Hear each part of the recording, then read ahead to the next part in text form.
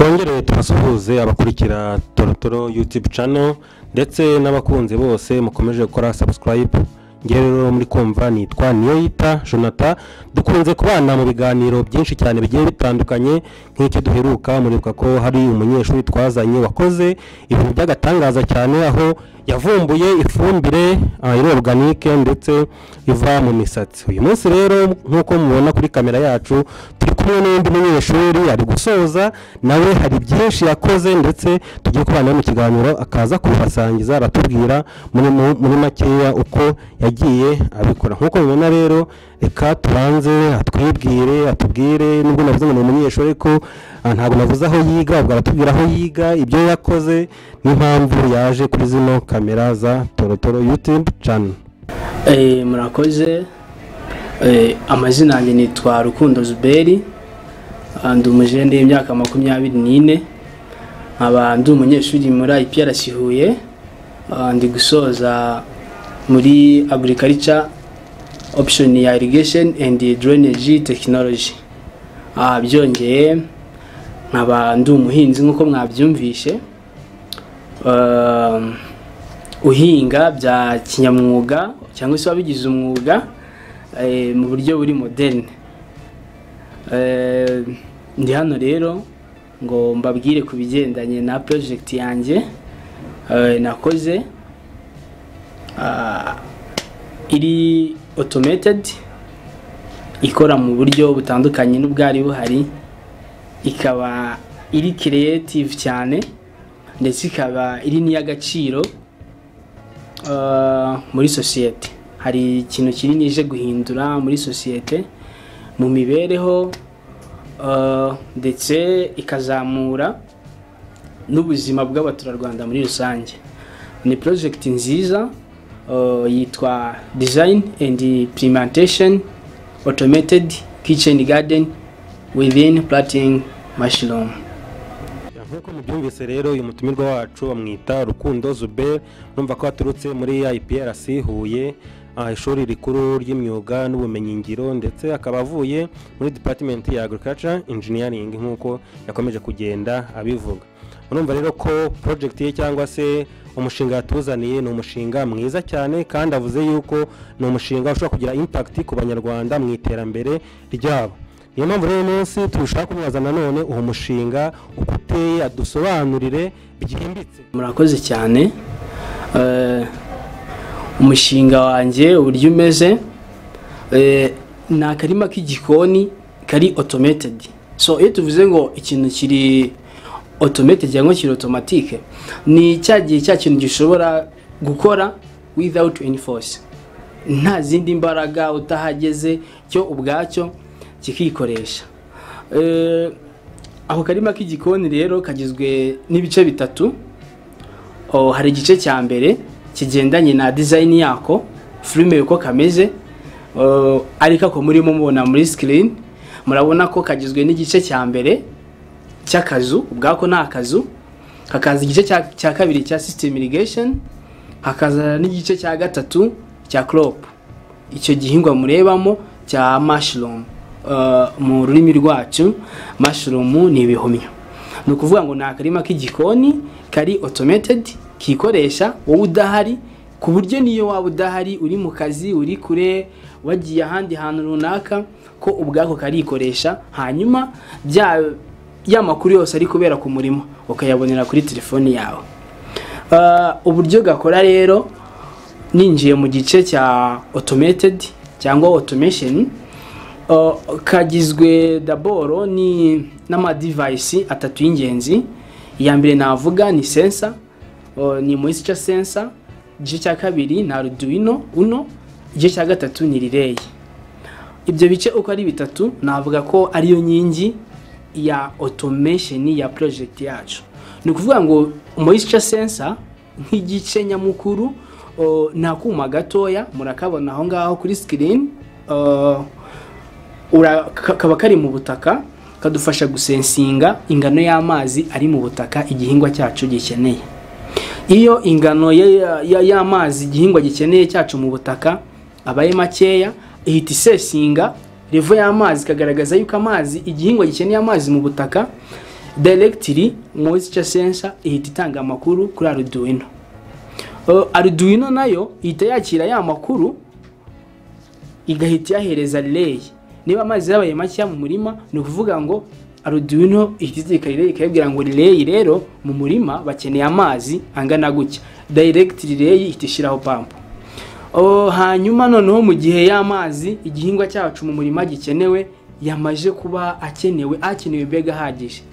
Nanone moisture sensor itanga amakuru kuri arduino ikavuga ngo arduino amazi mwaduhaye ubu twahaze turayakeneye mwayagarukana. Directly arduino ihita itanga information kuri relay then relay igahita ikuraho pampu ibyo bikorwa byose n'iyo movement irimo iraba uba urimo kwakira sms kuri telefone. Eh, n'ubu ndi hano ndaza kubibereka kuko sisiteme yanjye irimo irakwiraninga ndaje ndabereka message muraza kuba muri kubona kuri telefone z'uko bimeze. Kakaba rero kari automated gakoreshwa n'umuriro w'amashanyarazi. Hanyuma ni ukuvuga ngo gakoresha umuriro w'amashanyarazi ariko eh, namwe murabizi ntabwo ibyuma by'abazungu tujya inama hari igihe umuriro w'amashanyarazi dutenguha ukaba ni muri urwo rwego gafite backup ya pano soleil. Uh, gafite backup ya pano soleil mu gihe umuriro wacu ugiye.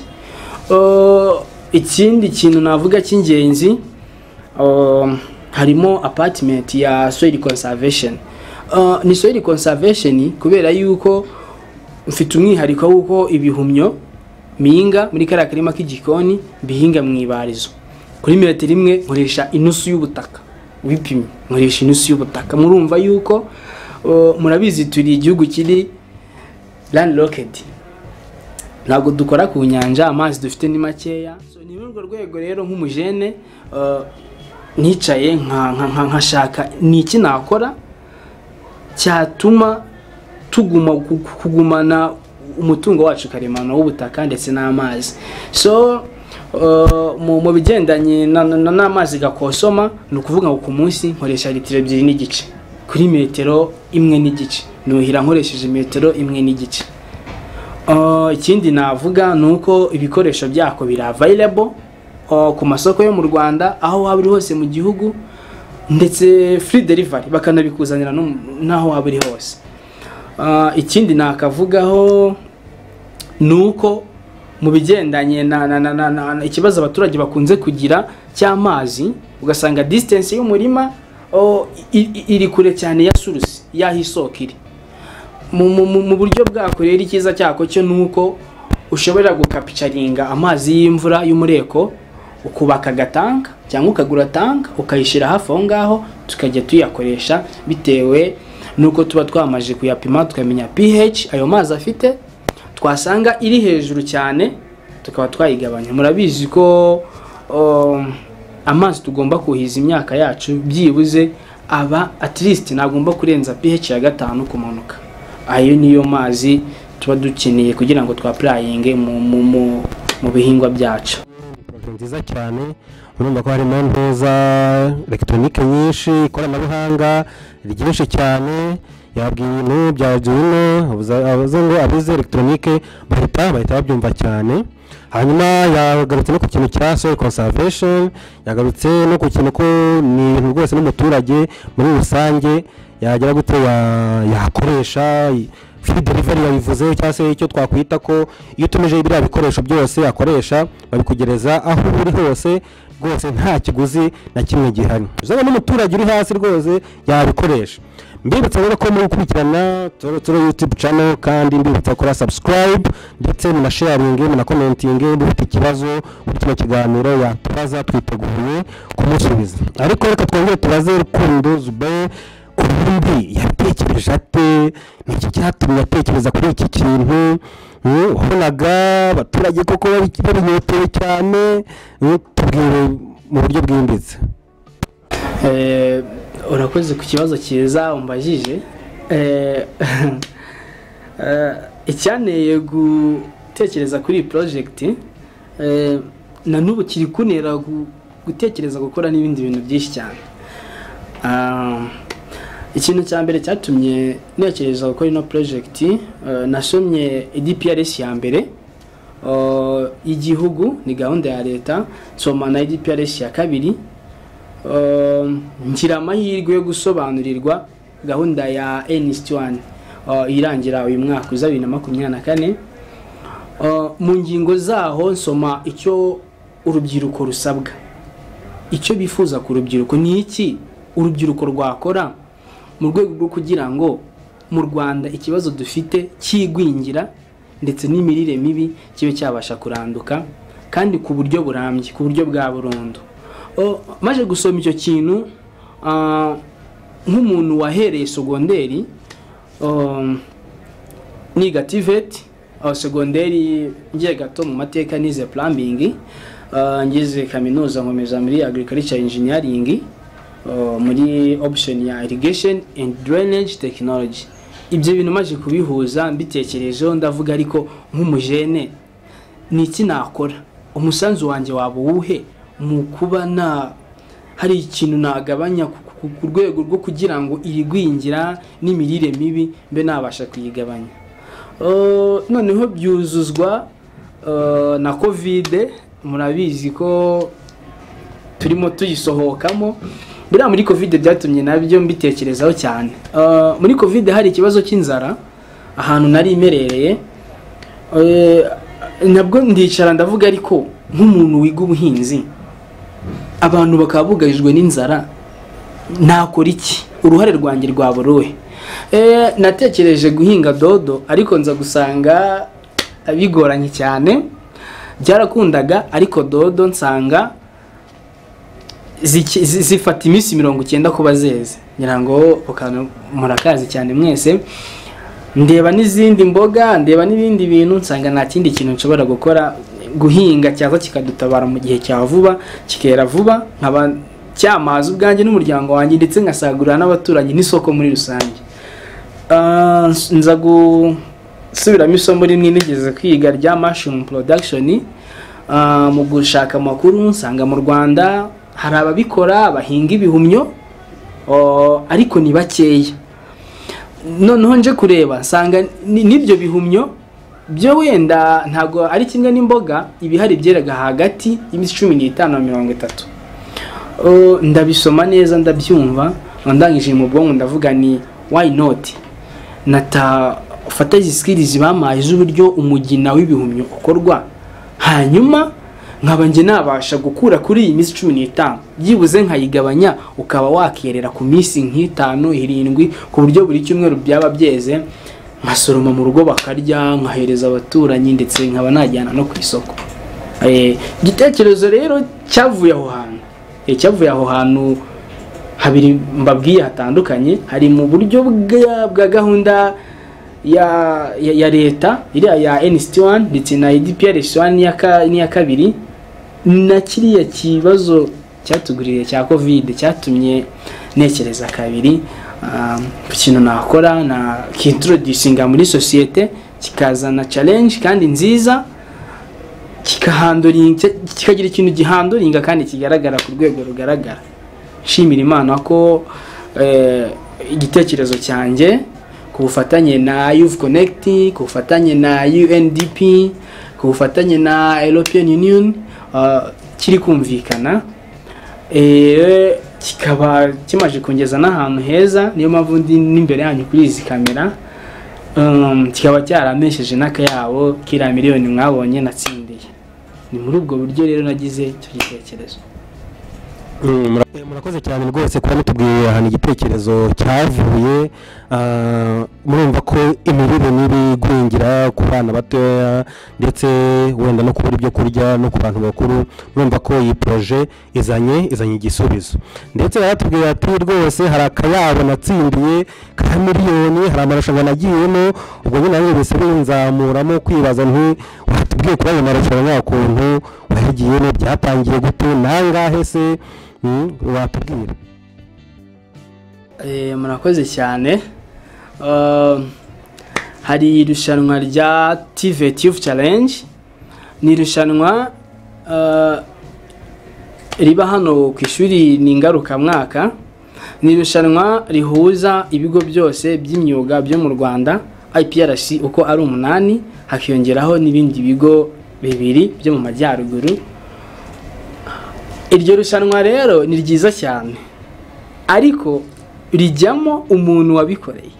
Eh, iyo mvuga ngo umuntu wabikoreye ni wa muntu wahatanye kandi ufite innovative project. Iyo tuvuze ngo innovative project ni project iri innovation ifite ikintu ije gukemura kabiswe n'ubwo yaba isanzweho ariko hakaba harimo ikintu wongeyemo gishyashya kigaragara ko icyo kintu eh, ki- ki- ki- a- a- uwo muntu arakireba agasobanukirwa cyangwa hari ikintu cyaremeye ku buryo cyagira icyo gifasha.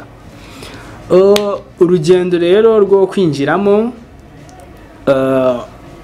rwatangiye umwaka ushize n'undi mwaka wa kabiri hari project yindi nashaka kwinjiranamo muri iryo rushanwa ariko ntibyankundira kuko ku rwego rwa- kaminuza urumva haba hahuriye amaproje menshi haba haje proje nyinshi noneho dore ko hari iwacu aho twiga ni mu myuga. Ni mu myuga. Iyo tuvuze ngo mu myuga rero ni uko buri munyeshuri wese aba afite umwuga aba afite project nyine agomba kuzana. N'ubundi twiga ngo dukira muri ibyo bibazo tuzana amaproje. Eh, noneho kuko buri munyeshuri wese rero aba afite project ntabwo bikorohera kuba rwose waba umushinga wawe kugira ngo uze mu mishinga icumi yatoranijwe izahanga nawe bitoroshye. Eh, ariko uyu mwaka nyuma yo kugira icyo gitekerezo nkakidivelopa neza Uh, narapurayinze amatangazo igihe cyarageze arasohoka ndapurayinga nk'abandi banyeshuri habaho preselection kabineti iricara mu kigo y'abarimu batoranijwe babishinzwe ikicara igafata amatopike muba mwatanze amatopike mugatanga na project zanyu uko zubakitse ugasobanura muri rusange.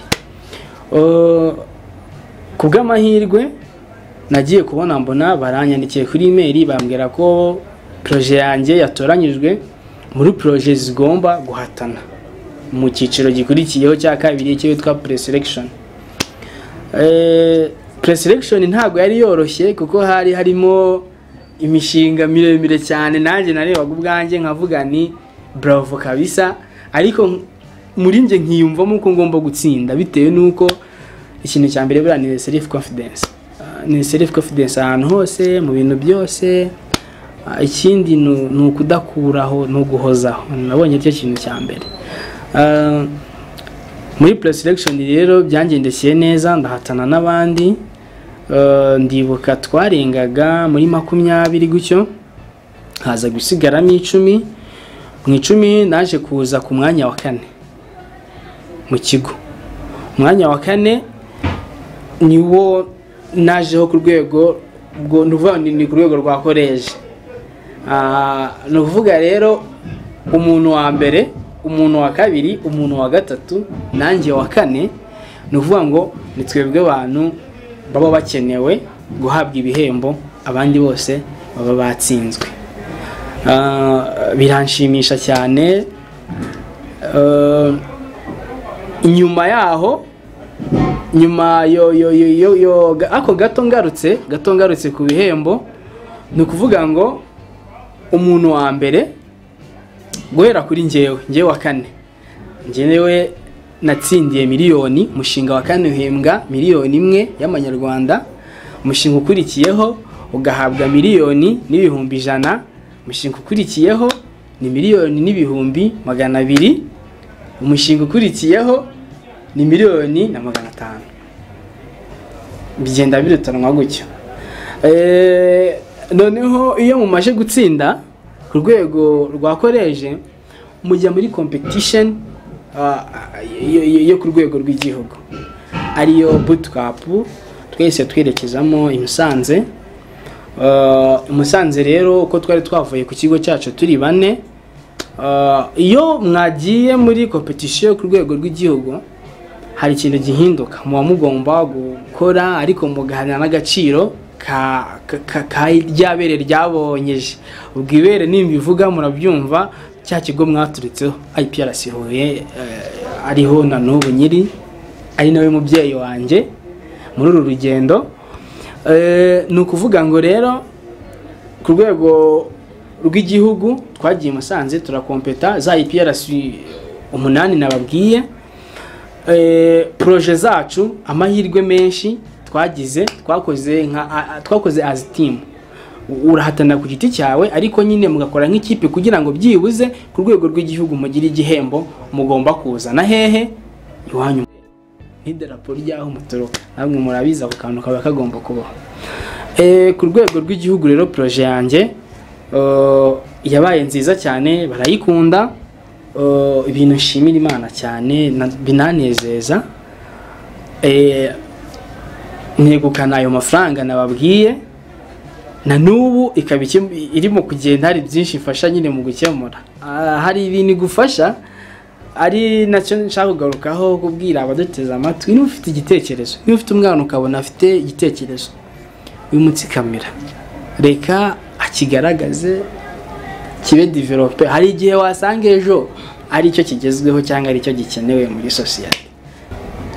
Eh, murumva ko uyu mujene rwose urugendo yanyuzemo ni urugendo rurerure cyane.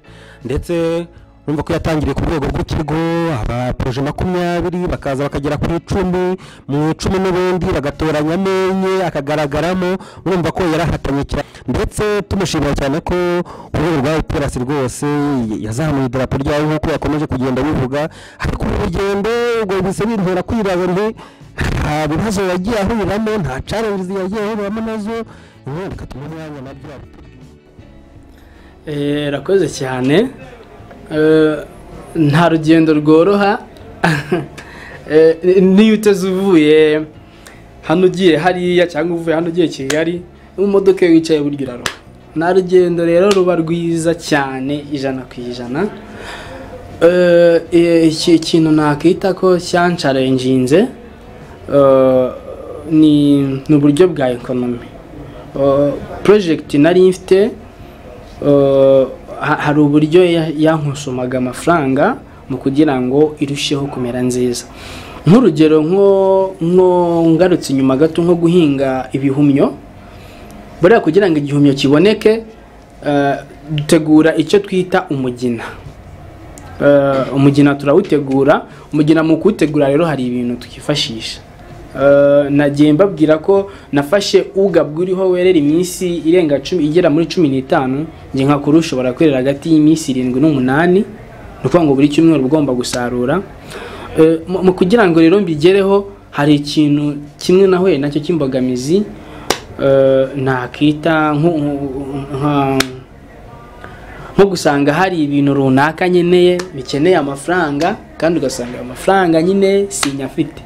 Nk'urugero gatoya mberetse hano hari nka bimwe nifashisha mu gukora imigina ah, murabona ah, ni- i- ibi ngibi uyu uyu ni umurama w'umuceri murawubona uyu ni umurama w'umuceri ni ukuvuga ngo rero bino bisi bino bisigazwa by'umuceri bimubona ibi ngibi kubibona nta- ntago bibo- nta- nta- ntago bi- byoroha. Ah, ikindi ni ibarizo Ah, ni ibarizo ndetse ndetse n'umwayi Eh, umwayi wo biroroha cyane kuko umuntu aranawugura muri labu nubwo kuri ubu ngubu fezi ngiyeho ariyo kwiga noneho uburyo nshobora kwikorera wa mwayi. Kuko narabigerageje mbona birashoboka uburyo nshobora gukora umwayi.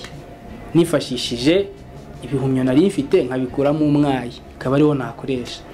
Uh, ikindi ni uko igihingwa cy'ibihumyo ku isi kigaragara ahantu hakeya. Ni igihingwa gishyashya cyahozeho ariko mu buryo buciriritse ubu turimo kukidivelopa ngo kize kiri moderni nta ibitabo bikivugwaho rero ni bikeya ubushakashatsi ni bukeya.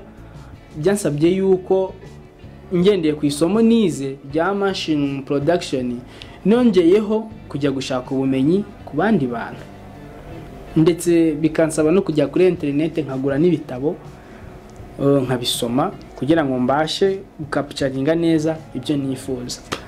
Eh, indi challenge ariko na yo ntabwo ari challenge ahubwo ni ibintu byiza cyane ni competition.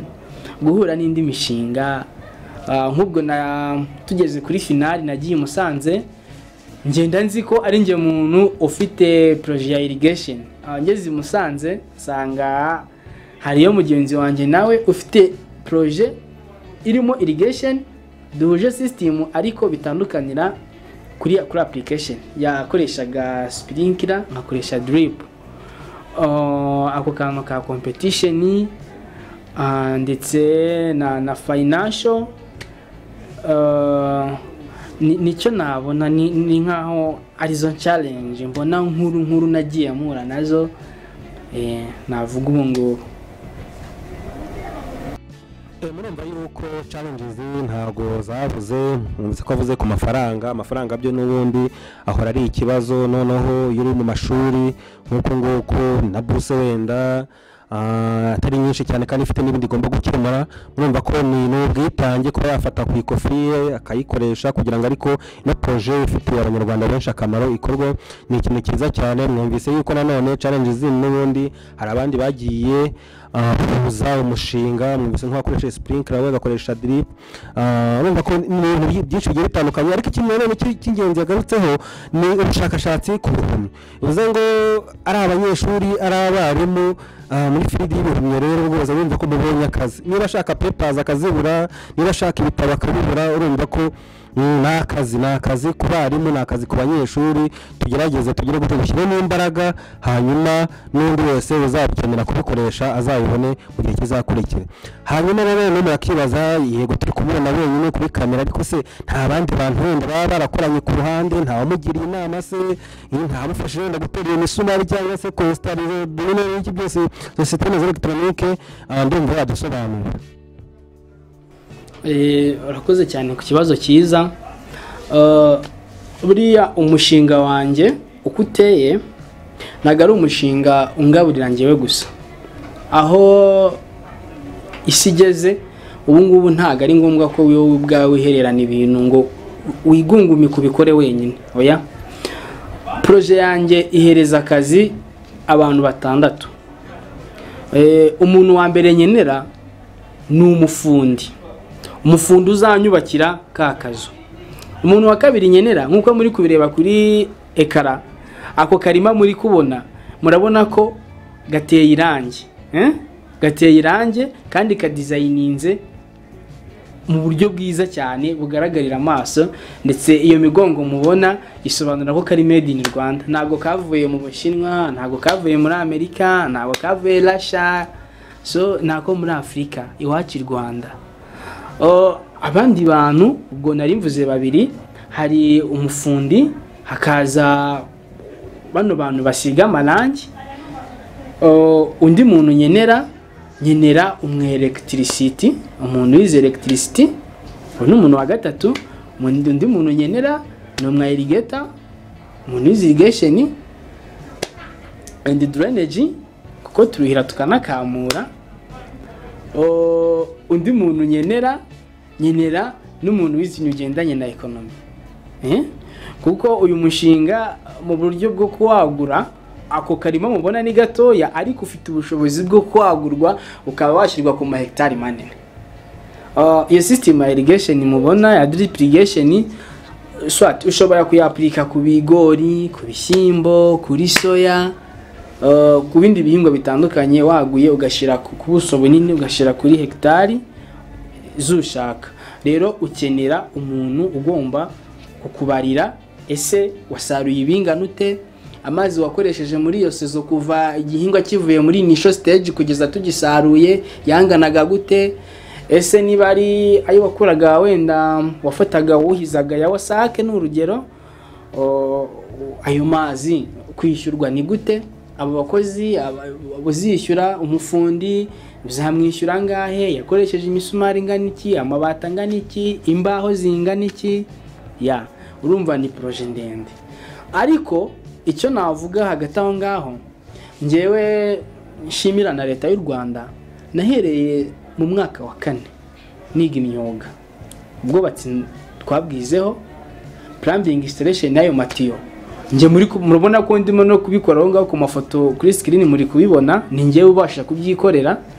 Ibyo byose murabona ko formation yako ni njye wayikoze. Ariko impamvu nabyikoranye ni uko yari prototype. Nashaka kwerekana guha abantu. Ariko mvuze ngo uh, ngiye kubyagura mbishyire ku buso bunini uh, nahereza abo bantu mbabwiye akazi bashyika muri batandatu. Uh, ubu ngubu muri bootcamp eh, bakaba banansabye yuko ndetse ngomba kubyuzuza neza oh, nkabanza nkasetinga kampani yanjye. Oh, mbibabwiyeho gatoya kuri kampani kampani yanjye yitwa agri food supply limited. Ah, ubu ndi kuri fezi ya nyuma kugira ngo yandikishwe hanyuma ihostingwe ntangire nyikoreshe. Nkaba nifuza neza mu bitekerezo n'uburyo mbyifuza aba bantu nababwiye nzabaha akazi. Nzabaha akazi kuko ngiye ako karima k'igikoni muri kubona aho ngaho nta rerero na rimwe ryo mu rwanda nifuza ko ritagomba kugira ako karima k'igikoni. Murabizi ko leta y'u rwanda yashyizeho uburyo bw'abanyeshuri kurya ku ishuri. Nta kigo cy'amashuri ubu tuvugana gifite akarima k'igikoni k'ibihumyo uwo ni umwihariko nshaka kuzana ni icyitegererezo nshaka kuzana. Ni ukuvuga ngo rero umunsi natangiye icyo gikorwa abo bantu bose mubona nzabahereza akazi kuko nzaba natangiye kwagura iyo porojegiti ku bigendanye no kumfasha byo kugira ngo mbe nashyika kuri fayino njye kuri pureselekishoni ibyo byose nirwanyeho ninjye wabashije kubikora mbikuye mu bumenyi nagaburiwe nahawe ndetse bugapfundikirwa n'ubwo IPRC Huye ikomeje kumana n'ubu ngubu. Eh, Eh, murumva rero ah, prefect cyangwa se ubumenyingiro ah, ni ahantu ushobora gukura ikintu cyagufasha mu buzima ni ahantu ushobora gukura ikintu cyafasha n'abantu b'abanyarwanda muri rusange n'igihugu muri rusange. Wumva ko yabihereye segonderi abikomeza muri kaminuza kandi wumva ko mu minsi iri imbere azaba ashobora guha abantu batandatu bose akazi. Niba yarashomereye cyangwa se wumva hari ahantu ushaka kuzakura akazi muramubona rwose mu gihe kiri imbere muzamubaze muti ka kazi kari he? Kandi uko azagenda byagura nk'uko abivuze mu marerero yo mu rwanda mu bigo by'amashuri mu rwanda wumva ko ni ibintu ushobora kuzabyara akazi kenshi cyane ku rubyiruko ndetse no ku bandi bantu bakuze. Hanyuma nkaza ati ubu turi ko ari muri porosesi yo kwandikisha kampani ye mu gihe wenda bitari byakunda ubu ngubu uri gukora iki? N'ubusanzwe nababwiye ko ndi umuhinzi mbifatanya no kwiga mbihuza n'ishuri. Ah, ubu rero ndahinga. Ndahinga mpinga ibihumyo. Muri kubona kuri sikirini ibyo bihumyo ibyo bihumyo ni byo ndi guhinga muri iki gihe. Ndi guhinga nshaka n'amasoko ah, njya no ku bitangazamakuru bitandukanye n'iki kirimo mubona kugira ngo nkore marketing. Nkore marketing ya activity zanjye nkore marketing y'ibyo ndi gukora. Nkore marketing menyekanisha ibikorwa numvikanishe ko urubyiruko dushoboye. Eh, uwabashije kutwumva inshuti z'urubyiruko nzishimira nshimira minisiteri y'urubyiruko ihozaho idahwema kudushishikariza no, kugira creativity ibyo tugomba gukora. Oh, ndi guhinga rero mpinga ibihumyo hano mu mujyi wa Huye. Oh, wenda mu nyungu zawe sapurayingira si ngombwa ko nabavuga hano kuri kamera ariko ndi guhinga ibihumyo buri cyumweru mba mfite ibihumyo. Uh, mboneraho no gushishikariza umuntu wese wumva rwose ari tayari. Ushobora kuba ufite resitora ushobora kuba uri umucuruzi mu isoko hano Huye ushobora kuba ukorana n'ahandi hose cyangwa uri Kigali cyangwa uri Gatsibo cyangwa uri Ngara muri he hose ahantu waba uri. Ndifuza yuko wafata iyo nimero yanjye iri kuri sikirini ukampamagara nkaba nakugezaho ibihumyo nkakuranguza. Ubu ndi umuhinzi w'ibihumyo ndi inshuti n'ibihumyo ndi inshuti n'ubuhinzi ni cyo kintu ndi gukora eh, soza n'amashuri eh, kuko ibigendanye n'amashuri byo nsa nkaho ndimo nsoza icyiciro cya mbere cya kaminuza birarangirana n'uyu mwaka. Eh, ndi guhinga ibihumyo rero kandi ikindi kiriho cyiza ni uko mu minsi iri imbere ndaba namaze kubinoza neza Eh, ndifuza kuba natangira gutanga amahugurwa ku rubyiruko. Urubyiruko hari ikibazo cy'uko umuntu ari kurangiza ugasanga wenda ntiwagize amahirwe ngo wige tekinike nkanjye wenda wiga ubuhinzi ubashe kuba wagira akantu ukora ukaba utazi rwose nuko karoti bayitera mu butaka. Ndifuza rero gutangira gutanga amahugurwa mu minsi iri imbere ubwo nzaba nasoje kwandikisha kampani yanjye eh, ndi kwifuza kuba natangira gutanga amahugurwa ku rubyiruko rubyifuza nkarwereka uburyo rwashakamo amafaranga rwahinga ibihumyo ndetse ni- n'ibindi bihingwa bishobora kwera mu gihe gitoya bikaba byabasha kubafasha kwivana mu bukene. Eh, ikindi kintu cyo ndimo ndakora muri iyi minsi eh, ubu ngubu ndi kuba inshuti cyane n'imiryango iciriritse iyo mvuga ngo iciriritse niba abantu bakihabwa inkunga na leta. Mu- mu- mu- muri duke bamaze kuma no kungezaho ngenda mbasha kubavunguriraho. Eh, ubu mfite imiryango irenga itanu buri kimwe mba ngomba gusura nkayifasha muri ubwo buryo bwo kuyiha ku bihingwa ngenda mpinga. Eh, ntabwo hari n'ikindi bakeneye nabwo nkabafasha nkabasayidira. Kugeza aho nzaba namaje kubona ubushobozi bwisumbuye nkaba nagira n'igikorwa kinini nkora. Ah, ikindi ndiho nganiraho n'ubuyobozi ni uburyo bw'uko bamfasha kubona mu- mujya mubona sinzi izina ndakoresha. Bashiki bacu barara ku muhanda hano bashaka abagabo. Abantu bakora uriya mwuga nabo ndi gushaka kuvugana na leta uburyo nshobora kubafasha bakaba babahereza ahantu runaka. Hanyuma njye nkabafasha mu kubigisha gukora. Umugino ukorwa ute igihumbi giterwa gute? Bakaba babyikorera nabo bagasagurira isoko bakaba byababasha kubakura muri muri muri uriya mwuga utari mwiza. Uh, navuga ko ari ako kazi ndimo ndakora.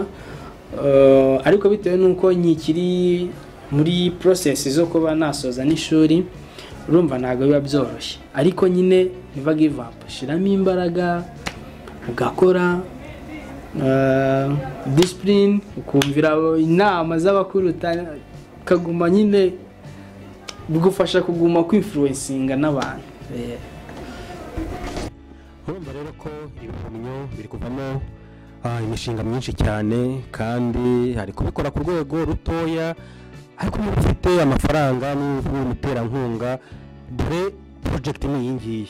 Mushore n'imari rwose urumva ko afite inisiyative nziza yo kwigisha abo bantu bose badafite uko bahagaze Mm, afite imiryango agenda asura kugeza ubu ngubu ni itanu ariko byakabaye byiza inagutse ikagera ku icumi makumyabiri se cyangwa mirongo itatu urumva ko ubushobozi ah, arabukeneye cyane. Niba rwose ukurikira kino kiganiro kuri kutureba umushoro w'imari shyiramo amafaranga ufite umutima mwiza ku buryo ah, ubuhinzi bwacu buzagera kuri cya kintu yahoze avuga ati kurwanya imirire mibi ku- kurwanya igwingira guca inzara muri rusange. Urumva ko umushoro n'amafaranga ni ikintu cyiza cyane. Reka rero tumeze tuti mu myaka itanu mu myaka icumi iri imbere uri guteganya iki uri kwibona hehe? Mm. ese ibikorwa bya innovation urabikomeza se? Cyangwa hari n'ikindi uri kudu- kuduteganyiriza aho ndi kwibona mu- muri iyo age wambwiye ni heza cyane. Ni heza cyane kuko mfite leta nziza y'u rwanda ndimo mu gihugu cyanjye igihugu gikunda abajene igihugu gikunda urubyiruko igihugu kimfasha igihugu cyamaye miliyoni igihugu cyanyemereye kwagura poroje yanjye kikampereza iyi miryango muri kugenda mubona hose nambaye kugira ngo ishyigikire ah, ndibona ahantu heza cyane. Ah, ngereranije ah, ubu turi bibiri na makumyabiri na gatatu. Wenda kambare yuko umutungo mfite ngereranije. Nubwo ndi umunyeshuri hari uburyo umuntu aba agenda akora akora akora.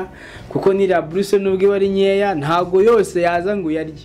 Hari uburyo ukuraho agacumi cyangwa bitanu cyangwa igihumbi cya buri kwezi ukagitura ahantu mu cyaro mu kamina witeganyiriza. Navuga ko wenda ndi nko muri miliyoni wenda ebyiri na magana abiri. Umutungo wanjye Eh, nkaba nifuza yuko mu hazaza hanjye muri iyo ejo ngiyi naba ndi wenda amaze gukubaho nka kane n'igice. Eh, naba amaze gukubaho nka kane n'igice Eh, ahandi ndi kwibona eh, ubu ibihumyo ndabihinga abantu bakabirya. Bakabirya ariko gusa nta kindi kintu mbimajije ndabihinga bya kera nkahita mbigurisha. Ariko ubu ngubu ikintu ndi gushyiraho ni ukureba uburyo bya bihumyo. Ni gute? Aho kugira ngo umuntu abirye ari amababi kuriya nta buryo nabyanika bikaba byakuma noneho nkajya misapurayinga abantu banjye ari ifu. Ese nta bindi bintu bishobora kuba byava mu bihumyo? Batabiriye nk'amababi umuntu akaba yabasha kubona ifu ukaba wayikoramo umureti ukaba wabasha kuyikoramo mbese mujya mubona amandazi yo mu bijumba? Mujya mubona ibiki? Noneho ndi gutekereza uburyo na- na- nazaba mfite nk'uruganda rutoya. Enterprise ntoya uruganda rutoya. Noneho rufata cya gihumyo ndakihingira nkaba nagishyira mu ruganda manufacturing nkaba na processingamo ikindi kintu noneho iyo produit nkayishyira ku isoko. Ndetse nkaba nagemurira n'inganda zikora imiti kuko buriya igihumyo hari indwara kirinda. Hari n'imiti yabuze ba- ba- ba- barimo kwifashisha ibihumyo gutegeka abantu ku- kujya babikoresha kwa muganga. Binkundiye rero muri iyo myaka naba ndi uyikorera uri kuri urwo rwego rwa supplying uruganda rukora imiti wabasha kuba naba mfite uruganda rurimo gusohora izindi product zikoze mu bihumyo cyangwa se zisohora ibihingwa byongewemo ibihumyo eh, na naho nshaka kwibona. Eh, akayiri imbere uyu mujene rwose adufitiye byinshi. Adufitiye byinshi cyane ni ukumuba hafi ah, bamugira inama bakazimugira bamuha ibitekerezo bakabimwungura namushyiramo amafaranga bakayazana. Mm, kuko yumvise igitekerezo nk'iki ngiki nta muntu utagishoramo. Ubwo rero wumva ko mu myaka itanu iri imbere ni ibintu byiza- cyane dufitiye ariko rero nkavuga nti eh, ni umujene wenda afite aho amaze kugera afite projection ziwe none se abajene bagenzi be bakiri mu myaka yo hasi bakiri mu masegonderi se bakiri mu wa mbere se ni iyihe nama ari kubagira kugira ngo nabo byibuze nabo bazamuke bagere ku rwego rwe? Eh, ikintu nagira abajeni bagenzi banjye ah, ikintu cya mbere ni ugutinyuka. Gutinyuka eh, niba ufite igitekerezo mu mutwe ukiryamana giturayinge kigerageze ukirebe urebe ikintu kizavamo. Kizama iki? Eh, ikindi kintu nababwira cy'ingenzi kudacika intege. Eh, kudacika intege na byo ni ibintu byiza cyane ndetse no guhozaho. Eh, guhozaho ubwo ni iki? Iyo udacitse intege mu bintu uri gukora ukaguma wavansa wavansa ushyira hari igihe ukora ikintu umuntu akubwira ngo ariko buriya urarwana n'iki? Eh? urarwana n'iki ko rwose ibintu uri gukora hanze aha ngaha abantu nta muntu ukumva nta wenda kugira ute. Ugasanga umuntu aguciye intege mu bintu wari urimo urakora. Eh, ikindi ugasanga mu kuguca intege ahubwo cya gitekerezo cyawe wari ufite. We aragiye aragifasha arakidiveroge gucika intege rero ntabwo nabibagiramo inama.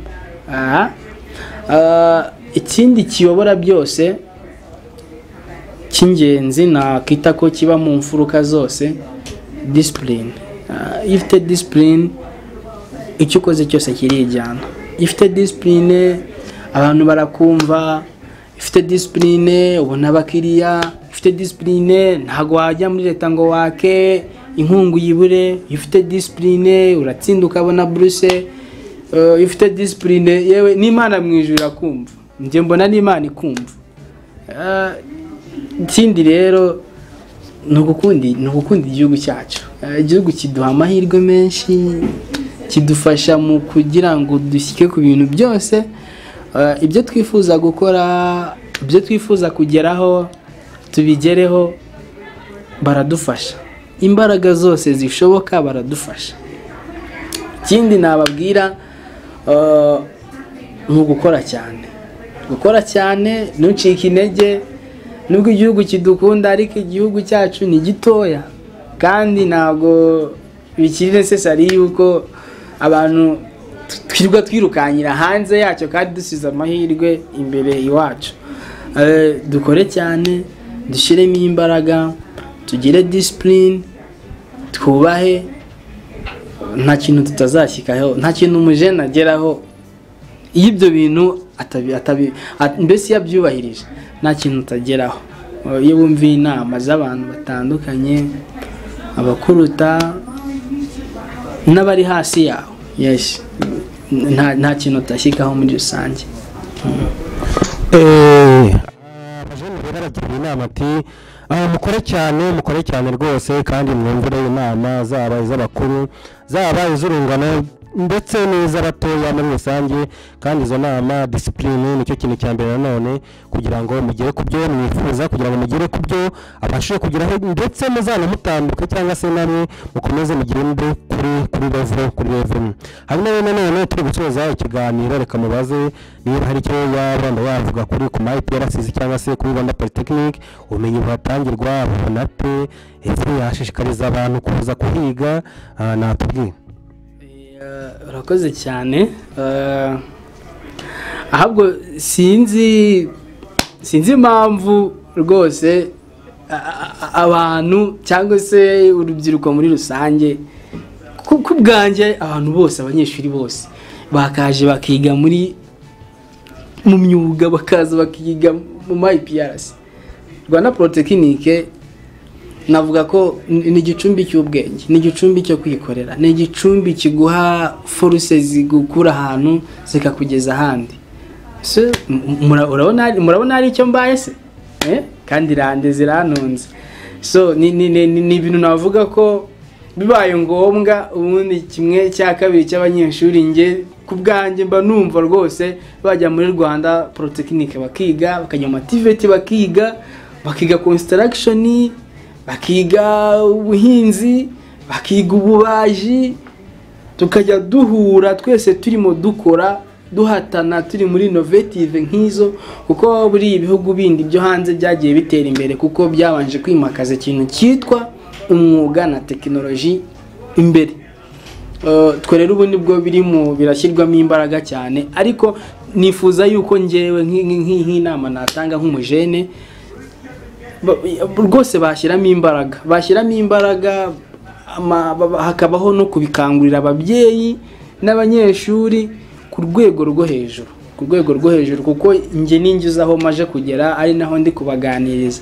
Sinzi niba wenda iyo na iyo nza kuba narayiciyemo cyangwa ngo mbe narayigezemo ko mba narageze kuri ibi bikorwa cyangwa mba ndi kuri izi kamera. Wenda mba ndi ahandi ndi mu bindi ariko urumva amahirwe nababwiye yose ari hariya. Niba umukurikira neza mu kubasobanurira aya marushanwa aba mu bigo bya tekinika kuko ni ho baziga. Mwigeze mwumvamo se ibindi bigo? Ntabyo. Ntabyo. Niho haba ayo mahirwe ahantu watanga umushinga wawe wawize neza ugatsindira miliyoni ebyiri eshatu nkumvishe bagenzi banjye barimo gutsindira makumyabiri n'eshanu muri yuvu konegiti nkumvishe abajya muri isirayeli. Nkumvishe abajya he? Ni benshi cyane. Ifite akamaro rwanda porotekinike ndetse na tiveti muri rusange. Icyo natangaho nk'inyunganizi rero cyangwa inama ni uko byanozwa. Ku rwego rwisumbuye urwo biriho ubu ngubu kuko biragaragara ko biduhereza umusaruro ntikimenyimenyi ngende umutangabuhamya. Ndi umutangabuhamya kabisa. Murakoze cyane nati rwose. Tiveti iri gutanga umusaruro cyane kandi ikomeze ivugururwe cyane. Hanyuma hari amakuru tumaze iminsi twumva cyangwa se twanabonye hari bachelor of technology zatangiye ndetse no mu buhinzi biravuga yuko nabwo zigiye kuzamo bachelor of technology uriteguye kuyiga Eh, cyane rwose. Eh, nditeguye biri no mu bintu biri kuza tubishaka Eh, ndi mu ba mbere. Ndi mu ba mbere bari ku isonga bayinyotewe. Eh, ni mu ba mbere bayinyotewe ndi tayari kuyiga. Mm. Eh, ubwo rero umunsi waje rwose amahirwe masa uzayige ukomeze wongere ubumenyi. Hanyuma iyo turi tugana ku musozo nagira ngo nkubaze nta kindi wenda wa- watubwira bo ikintu nababwira nta kindi ni ugushimira abakunzi ba torotoro cano Eh, mukajya muyifurowinga mugakora subscribe mukayikunda muzajya murushaho kugenda mubona ibiganiro byiza. Nk'urugero mwabonye icyabanje nanjye murambonye haba harimo n'amashuri. Ah, murabona kuri sikirini nimero zanjye wamamagara ukambaza ukeneye ibihumyo uri ahantu runaka ni free delivery mbikugezaho. Eh, bitakugoye. Utavuye mu rugo utagize uti ukeneye ubuhinzi wanyaka inama ushaka system ya irrigation ushaka kwesitara ahantu runaka wahamamagara O, urabona ko cano na yo ni umuyoboro mwiza cyane. Ni kimwe mu bitangazamakuru byiza cyane. Urabona ko iyo umuntu yafashe umwanya we akagutumira mugakora ikiganiro abanyarwanda bose bakakibona abari hanze y'igihugu bakakibona biba ari ibintu byiza cyane. Eh, ntako biba bisa. Ikintu rero kindi ngarukaho eh, no gushimira buri muntu wese umaze gukora subscribe kuri iyi channel ubwire na mugenzi wawe ubwire n'abandi bose mugume muze tuenjoyinge tujye turebaho amakuru y'ubuhinzi tujye twigiraho n'ibindi bintu bigiye bitandukanye. Eh, ndabakunda cyane Eh, kandi ndishima ko mukunda n'ubuhinzi mukunda abahinzi mubizi ko buri ku isonga. Eh, mbahoza ku mutima. Murakoze cyane. Turagushimiye cyane rero. Rukundo zuberi uyu mwanya rwose waduhaye. Kugira ngo tugaragarize umushinga wawe ni umushinga koko twumvise mwiza cyane ufite impakite nk'uko twakomeje kugenda tubivuga ku buhinzi bwacu ufite impakite ku banyarwanda. Uzadukura mu mirire mibi cyangwa se mu igwingira uzadukura mu bukene ndetse warangije unagira inama abantu bagiye batandukanye cyane cyane urubyiruko. Turagushimiye cyane rero kandi twizere ko n'ubutaha iyo mishinga yose yo kuduhuta cyangwa se ah, n'ibindi byose yo guteganya uzakomeza kugenda ubitubwira ukabitugezaho ukabisangiza n'abandi banyarwanda muri rusange. Dukomeze rero dushimire n'abadufashe bose kameramani ndetse n'abandi bose badukurikirana ndetse n'abataradukurikirana mukore subscribe kugira ngo mukomeze mubone content ziri zigisha zigisha ibintu bitandukanye. Twibanda ku buhinzi twibanda ku cyagirira umuntu wese akamaro mu buzima bwe bwa buri munsi. Ngewe rero na mwete jonathan dukomeze tuzasubire ubutaha mwibuke gukanda kuri subscribe uhoraho abaha umugisha. Ciao.